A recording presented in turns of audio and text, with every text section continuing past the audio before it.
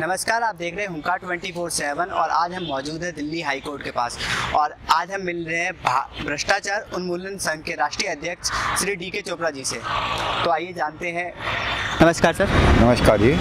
तो सर भ्रष्टाचार उन्मूलन संघ क्या कार्य करता है? भ्रष्टाचार उन्मूलन महासंघ जो है इसका मेन काम है जितने भी सरकारी तंत्र में कामों में रुकावट डालने का जो प्रोग्राम होता है, उसको दूर करने का प्रयास करते हैं हम लोग। और हमने काफ़ी जगह दूर भी किए हैं और हम, हमारा ये प्रयास है कि देश में सबको जो टैक्स पे कर रहे हैं, उसका उचित मुआवजा मिले और उनके जितने भी काम जिस जिस डिपार्टमेंट में है, वो अपने आप ऑटोमेटिक होने लगे और बाबू लोग जिनको सैलरी मिल रही है हमारे टैक्स में से, वो देश के लिए, समाज के लिए काम करें। और सारा हमारा परिवार जो है, भारत का जो परिवार है वो सुखी हो और वो अपनी जो डे टू डे प्रॉब्लम है उनसे बाहर निकल पाए। तो यही हमारा जनतंत्र का मेन मकसद भी यही है कि हम वोट इसीलिए डालते हैं ऐसी पार्टी को डालते हैं जो हमारे सुख आ, सुख के लिए काम करती है। तो सर एक नारा है पहले लड़े थे गोरों से अब लड़ रहे हैं चोरों से। तो कितने चोरों से लड़ चुके हैं अभी तक? आ, हज़ारों के हिसाब से है ये तो कोई छोटी बात नहीं है। असल में हमारे जो सिस्टम है ना वो मुसलमानों के टाइम में वो आए थे लूटने के लिए हमको अंग्रेज़ आए फिर लूटने के लिए। परंतु जो हमारी नई अपने लोग आए जब देश आज़ाद हो गया अपने लोग आए तो उन्होंने इस ओर ध्यान ही नहीं दिया कि हमको देश में सब नागरिक अब बड़े बहन भाई हैं इनका विकास करना है और इनको हमने तंग नहीं करना है। सरकार टैक्स क्यों इकट्ठा करती है। अगर हमको तंग करके उन्होंने पैसे इकट्ठे करने हैं तो फिर सरकार को टैक्स नहीं इकट्ठा करना चाहिए। हमसे पैसे लो काम करो और पैसे लो। तो ऐसा होना चाहिए पर ऐसा नहीं हो रहा है। टैक्स भी लिया जाता है तंग भी किया जाता है। और महिलाओं और समाज के शोषण वर्गों पे अत्याचार भी किए जा रहे हैं। तो लूट के कई साधन खुले हुए हैं खुलेआम लूट हो रही है। सत्तर साल देश आज़ाद हो गया पर अभी तक हम लोगों को कितने लोगों को आज़ादी मिली ये अपने में एक बहुत बड़ा प्रश्न है। तो सर सबसे बड़ा चोर किसे मानते हैं आप? हम तो सरकार को ही चोर मानते हैं, क्योंकि सरकार अगर चाहे तो देश में राम राज्य आ सकता है। रामचंद्र जी का राज्य का मतलब है, राम जी जो जैसे चाहेंगे वैसे होगा। अभी भी जो हो रहा है, वो नरेंद्र मोदी जी जैसे चाहते हैं, वैसे ही देश में हो रहा है। आपने देखा है, कितने अभी मोदी जी ने नए नए आयाम शुरू किए, नोटबंदी जीएसटी और बहुत कुछ कर रहे हैं। तो जो वो चाहते हैं, वो हो रहा है, जो नहीं चाहते, वो नहीं हो रहा है। तो आपको क्या लगता है, सर, देश में महिलाएँ कितनी सुरक्षित है?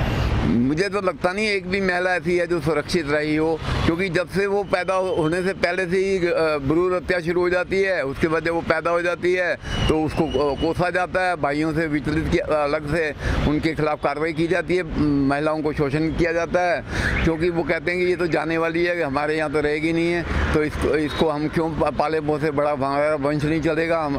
तो इस तरह की हमारी सोच है, बेटी बचाओ, बेटी पढ़ाओ का नारा दिया गया है, पर उसमें लोगों ग्रांट ही देते हैं, मेरे को तो नहीं लगता वो सारे ऑर्गेनाइजेशन कोई बेटियों को उनकी कोई खास हेल्प कर पा रही हैं। आप ये देखिए कि अभी पीछे अ, मेरी बेटी को उठाने के लिए घर पे लोग आ गए सत्रह दिसंबर को जो कि मेजर जनरल आर्मी के विजय विजय सेठी और किसने भेजा उसको? ए सी ज़िले सिंह ने भेजा। उस उसको किसने नॉमिनेट किया? उसको गीता सिंगला एक आई एस अफसर पी एम ऑफ़िस ने उसने नॉमिनेट किया। उसकी जब मैं कंप्लेंट करने गया दिल्ली गवर्नमेंट की चाइल्ड वुमेन और सोशल वेलफेयर डिपार्टमेंट की लेडी जो है उसका नाम है शिल्पा शिंदे। उसने जो है मेरे को पहले अपॉइंटमेंट दे दी, फिर मैं जब गया तो बोले, मैंने तो अपॉइंटमेंट नहीं दी। जब मैंने कहा, भाई, आपने अपॉइंटमेंट दे रखी है, देखो रिकॉर्डिंग है। कहते अच्छा आप रिकॉर्डिंग करते हो? मैं इसलिए नहीं मिलती आपको। उसके बॉस को मिला। बॉस ने भी कहा, भाई, ये मिलेगी आपको। नहीं मिली। तो उसके बाद मैंने अब हाई कोर्ट का दरवाज़ा खड़काया है। कल हाई कोर्ट में ये मैटर आएगा। तो उसमें देखते हैं, सर- जस्टिस कैसे मिलता है हम लोगों को? क्योंकि इस, इसी बात के ऊपर जस्टिस सारे देश को मिलने वाला है। जो लेडी मुझसे नहीं मिल रही है तो वो किसी से भी नहीं मिलती होगी। तो पब्लिक डोमेन में जो लोग होते हैं, उनको हर एक से मिलना ज़रूरी होता है। नहीं तो वो कैसे उनकी समस्याओं का समाधान कर सकते हैं? जब तक सुनेंगे नहीं, समाधान की तो बात ही बात में आ रही है। तो ये मुझे ऐसा लग रहा है कि ये फ़ोन जो है, वहाँ गीता सिंगला से उसको आ गया है कि डी के चोपड़ा से मत मिलो, हम इसकी लड़की उठाने गए थे और तुम इससे मिलोगी तो ये तुम्हें बताएगा तो तुम्हें प्रॉब्लम बढ़ जाएगी, तुमको कार्रवाई करनी पड़ेगी। तो ना वो मिलेगी, ना वो कार्रवाई करेगी। तो सर आपको लगता है कि ट्रांसपेरेंट सरकार जो है सरकार को कार्य जो करती है ट्रांसपेरेंट करे? अगर वो सही है तो उनको वीडियो रिकॉर्डिंग करवाने में कोई आपत्ति नहीं होनी चाहिए थी? नहीं मैं तो ये कह रहा हूँ कि हर आदमी को देश में कैमरा रखना चाहिए ताकि वो एक दूसरे से बात करें और उसको वो जस्टिफाई कर पाएँ कि हम लोग ईमानदार हैं और हम अपनी बात डंके की चोट पे कहते हैं। कोर्टों में भी अभी हाई कोर्ट वगैरह पटियाला कोर्ट में भी वीडियो कॉन्फ्रेंसिंग की बात हुई, पर ज़्यादा नहीं चली, क्योंकि वो परमिशन नहीं देते हैं, कहते कैमरा के अंदर नहीं आ सकते। क्यों नहीं आ सकते? मैं ये कह रहा हूँ, ऐसा क्या क्राइम कर रहे होते हैं अंदर? आप क्या सीक्रेट होता है जिसको आपका कोई आउट हो जाएगा? आप देश की बात कर रहे हैं तो देश की बात ही होनी चाहिए। देश की बात हो रही है तो देश की बात होनी चाहिए ना।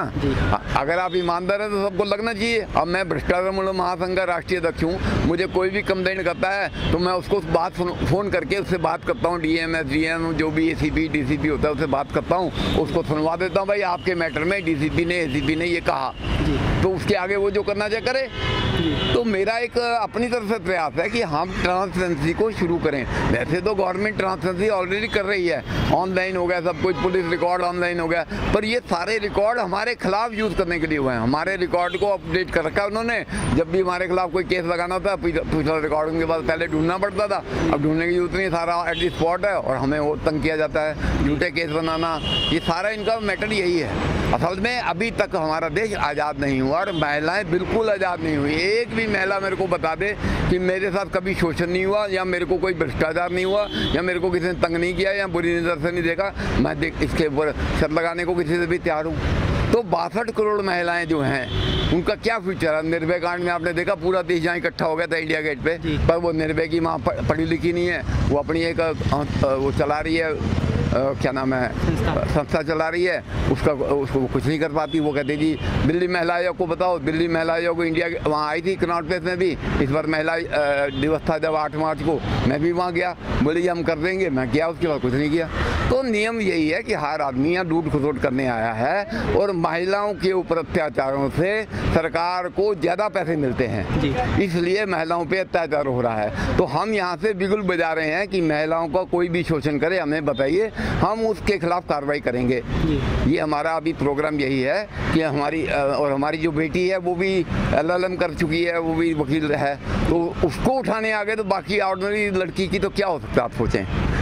ये अपने में एक बहुत बड़ी बात है। तो मैं देशवासियों से यहाँ से ये कहना चाहता हूँ कि किसी भी महिला को या किसी भी तरह की कोई भी समस्या हो, भ्रष्टाचार मूल्य महासंघ को अप्रोच करिए। हम आपकी हर प्रॉब्लम को सॉल्व करेंगे और आज तक हम करते आ रहे हैं और हज़ारों काम हमने कराए हैं। ये भी आपने देखा होगा इलेक्शन में फ़ोटो हमने लगवाई थी। पीछे हमने आर प्राइवेट आदमी पर लागू करवाई है मेट्रो हमने चालू करवाई फोर्थ फ़ेज़ की बात कर रहे हैं। तो हमारा ये शौक़ है।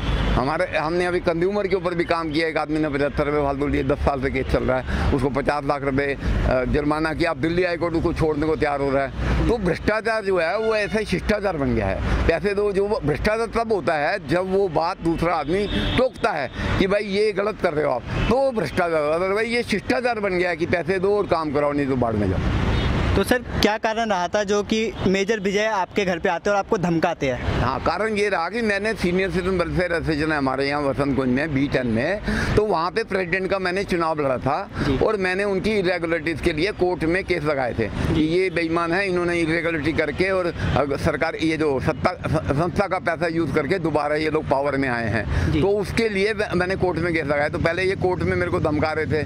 कोर्ट को जज को भी इन्होंने लगता कुछ फ़ोन फ़ोन करवाया है। तो ये सारा सिस्टम ये है कि जो इनका अड्डा बना हुआ है वसंत कुंज में लड़कियाँ उठाने का, उसको मैं ध्वस्त करने का प्रयास कर रहा हूँ और मेरे को मर्डर करने की धमकी दे चुके हैं। अब जैसे आपको मैंने सुनवाया भी था तो मर्डर करने की धमकी दे चुके हैं, मेरे को और तरह से ह्यूमिलेट करने का प्रयास करते हैं, कभी कार में पंचर करवाते हैं, कभी कहीं विंडो से फ़ोन करवाते रहते हैं। तो ये हो रहा है, मुझे उससे कोई दिक्कत नहीं है, क्योंकि मैं तो ये मानता हूँ कि ये एक स्वतंत्रता की, वो आगे की आज़ादी की लड़ाई है जो भगत सिंह ने चालू की और मैं उसको कंटिन्यू कर रहा हूँ। और जो ये गांधी जी और नेहरू जी ने जो किया है, ये अंग्रेज़ों का सिस्टम ही चालू कराए रखा है। इसको बदलने के लिए हर आदमी को इस देश में भगत सिंह बनना पड़ेगा और इस सत्ता से लड़ना पड़ेगा, तभी समाज में सुख शांति स्थित होगी। तो सर, जो लड़कियों को उठवाते हैं तो उनके साथ करा के जाता है? मतलब आगे क्या होता है उनके साथ? उनके उनका शोषण होता है जैसे ये दिल्ली में आप देखिए रेप बढ़ गए तीन गुने रेप हो गए कम थोड़ी हो रहे हैं। तो कौन इनके आंकड़े रखेगा? कौन इसके ऊपर हिसाब पूछेगा? ये वुमन महिला आयोग बना रखे हैं नेशनल महिला आयोग बना रखे हैं या और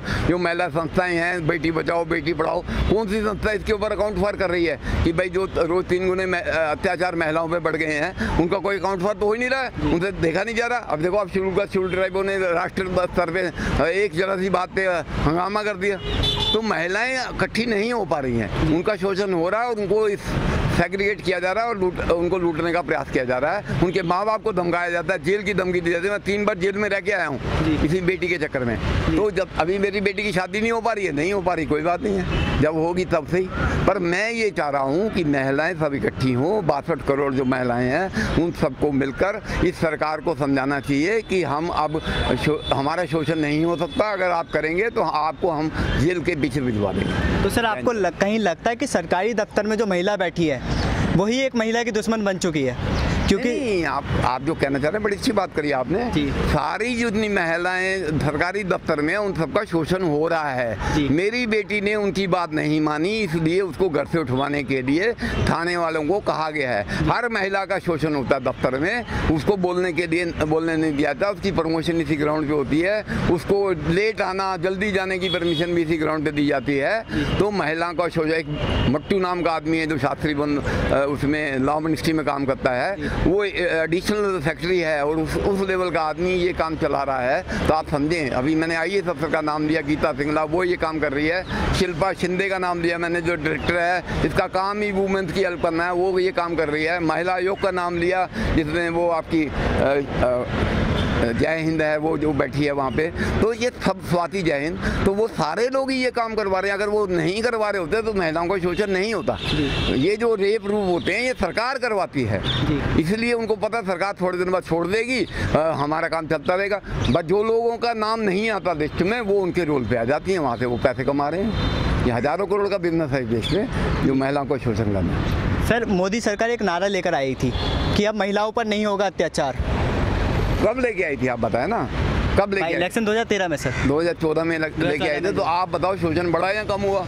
आप ही बताओ ना सर आप आंकड़े देखो इनके कि कहाँ महिलाओं का कितना शोषण हो रहा है अभी थी तो आप नारों पे मत जाइए इस देश में सिर्फ़ नारे ही लगाए जाते हैं काम प्रैक्टिकली कितना हो रहा है उसको आप असेस करने का प्रयास करिए। मोदी सरकार ने तो बहुत कुछ कहा। हर चीज़ की अभी चर्चा नहीं हो सकती, पर महिलाओं पे शोषण हो रहा है और मेरी बेटी को 17 दिसंबर को उठाने का प्रयास किया। मेरे मेरे को शिल्पा शेट्टी, डायरेक्टर दिल्ली गवर्नमेंट ने मिलने से मना किया और उसके लिए मैंने अब हाई कोर्ट की शरण में आ रहा हूँ। तो मैं क्या कर सकता हूँ बताएँ? देश के कानून के अंदर ही मुझे कार्य करना है ना? जी जी। तो आप इसको समझें और देश को समझाएँ कि बासठ करोड़ महिला तभी सुरक्षित हैं जब हर महिला नहरा लगाए और सारी मिलकर एक साथ देश के समाज के कल्याण के लिए काम करें। तो सर ये लड़ाई अब आगे कहाँ तक जाएगी? जब तक बासठ करोड़ महिलाओं पे अत्याचार चलते रहेंगे लड़ाई चलती रहेगी या मेरा मर्डर हो जाएगा। जैसा कि मुझे कई बार डेढ़ सौ बार धमकी मिल चुकी है ऑलरेडी चार बार तो पुलिस वाले खड़े होकर पिटवा चुके हैं मेरे को। जी। तो ये तो आप देखिए हम तो चाहते हैं कि दिया जल रहा है इसका चिराग जले और सारे देश की महिलाओं सुरक्षित हों और उनको लगे कि हम घर से भारतीय हैं। जी। आ, तो सर मतलब अगर कुछ महिलाएँ आए आए आपके साथ और फाइट करने के लिए तो वो आपसे जुड़ेगी कैसे? मेरा फ़ोन नंबर सारा है मेरा फेसबुक है डी के चोपड़ा के नाम से सीनियर सिटीजन वेलफेयर फोरम के नाम से मेरा फेसबुक है व्हाट्सएप है कोई भी कहीं भी जुड़ सकता है मैं पहले जंतर मंतर भी बैठता रहा हूँ वहाँ से जंतर मंतर इन लोगों ने बंद करवा दिया अब जंतर धरना करने की कोई जगह ही नहीं है मोदी साहब को सारी इंडिया में सरकार बन गई है इसलिए इनको अब अपोजिशन की ज़रूरत ही नहीं है। तो ये सारी जो सत्ता में लोग आ जाते हैं ये एंट्री पॉइंट होते हैं एंट्री होने के बाद वो सारे रस्ते ब्लॉक कर देते हैं क्या वो और आदमी कोई भी आगे ना बढ़ पाए। तो सर आशा करते हैं कि आपने आप जिस लड़ाई को लड़ रहे हैं उस पर विजय हासिल हो। और आज आपने इतनी सारी जानकारी दी इसके लिए धन्यवाद। आपका तो ये जो चिराग जलाया डी के चोपड़ा जी ने देखते ये कहाँ तक जाएगा। और क्या भारत की बासठ करोड़ महिलाएँ अगर अपने हक के लिए लड़ाई लड़ेगी और क्या दिल्ली हाई कोर्ट पारदर्शी के साथ इस पर फैसला लेगा ये आगे देखेंगे। मैं निशांत कुमार अपनी सहयोगी स्नेहा पांडे के साथ उनका twenty four seven Delhi High Court.